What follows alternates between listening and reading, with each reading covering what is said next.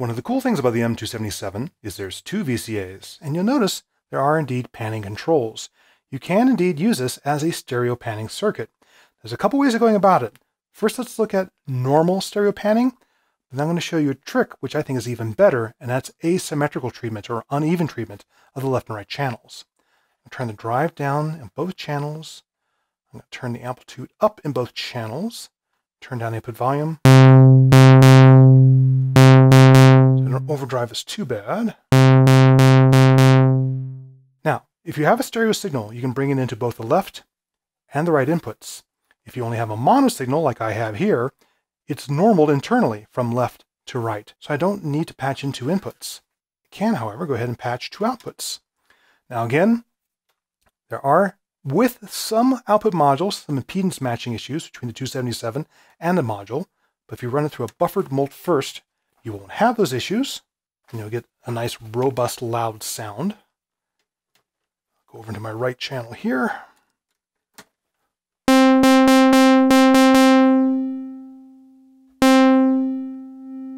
There's my process sound. If I stay on this, change the pan control, you can see how the green waveform on the left is different than the blue waveform on the right.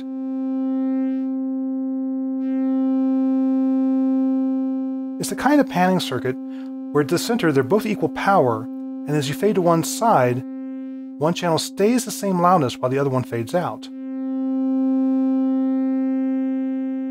Now, since the M277 does have this little aberration or idiosyncrasy around the zero volt crossing, you'll hear distortion get added to the channel being faded out.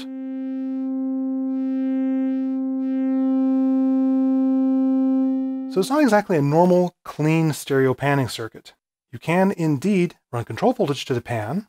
Now, when you plug into these inputs, unlike amplitude and drive, these do not become attenuators. So I'm going to run my triangle wave from my LFO here through my utility mixer just to attenuate one of those channels coming in. I'm going to go into the pan input here, play a note, let's start increasing that LFO level.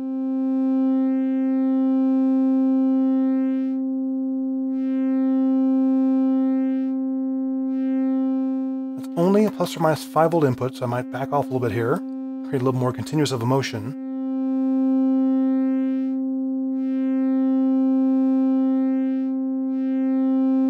So, yes, you have an auto panner. It doesn't really behave the way that you might expect a panning circuit of a mixer to work.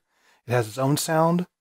But what's far more interesting for me is to give up on ideas like LFOs and instead treat the left and right channels asymmetrically. Dial in different sounds on the left and right. This way you get pseudo stereo. For example, here's my sustained sound. I'll even go into drone mode for now. Let's back off the amplitude on one channel and then let's increase the drive of that channel. Now we have a radically different waveform in the left and right channels from one source. Now when I play a note, you hear motion in the sound as it goes through its envelope and the amplitude changes going into the M277.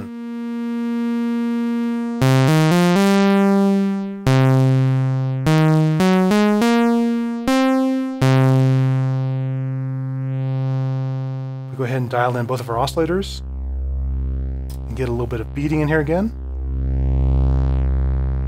Now we can make the sound appear to auto pan as the input amplitude changes.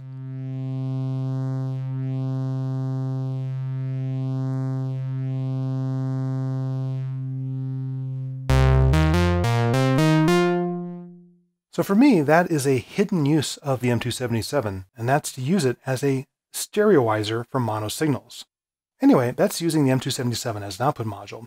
Let me change some cables around, and now we'll use it as a normal VCA in a patch.